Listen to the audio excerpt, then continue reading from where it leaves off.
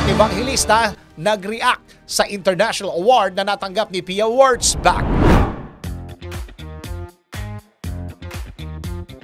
Para sa aking balitang showbiz, nagbigay ng kanyang reaksyon si Heart Evangelista sa International Award na ipinagkaloob kay Pia Wurtzbach sa ginanap na 2024 Imigala Fashion and Beauty Awards sa Dubai. Ang Imigala Awards Glitz and Glamour, a celebration of fashion and beauty ay ginanap sa Festival Bay Arena by Intercontinental Dubai Festival City.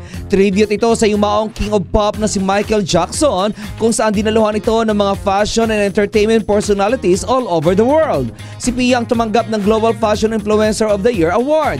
Marami kasi ang nagsasabi na dapat ay si Hart ang nakakuha ng nasabing parangal.